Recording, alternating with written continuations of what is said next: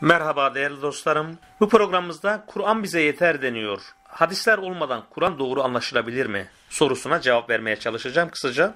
Bu söz yeni söylenmiyor. Öteden beri değişik maksatlar olan insanlar benzeri sözleri söylemişlerdir. Bu sözlerle pek çok Müslümanı kafa karışıklığına sürüklemiş ve ciddi zararda vermişlerdir.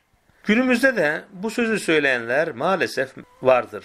Bunların samimi niyetlerle yola çıktıklarını düşünmek oldukça zordur. Esas maksat Kur'an-ı Kerim'in gerçek müfessiri Peygamberimiz Aleyhisselatü Vesselam'ın hadislerini devre dışı bırakarak keyiflerine göre Kur'an'ı yorumlayıp dini zorlaştırmaktır. Sonrasında da kendileri dine uymak yerine dini kendi arzu ve heveslerine uydurmaktır. Namazsız olur, kurban ve hacca gerek yok, oruç tutmasanız da olur diyerek bunları şu anda yapıyorlar.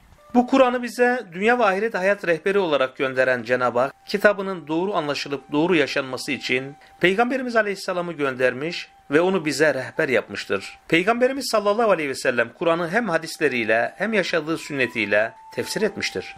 Efendimizin bu manadaki Kur'an'ı tefsiri de Allah tarafından onaylanmıştır. Öyleyse Kur'an anlayışı Allah tarafından onaylanan Peygamberimize müracaat etmeden kitabımızı doğru olarak anlamak ve yaşamak nasıl mümkün olabilir?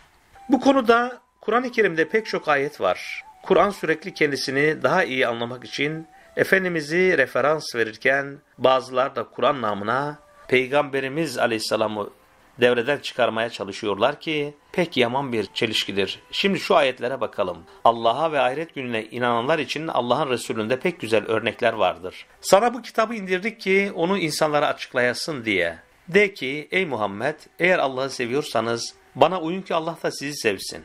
Kur'an-ı Kerim ibadetlerin ve yasakların temel esaslarını belirtir. Hatta sadece farz veya haram olduklarını belirtir. Bunların uygulama biçimlerini ve detaylarını vermez. Bunları biz tamamen peygamberimizden öğreniriz.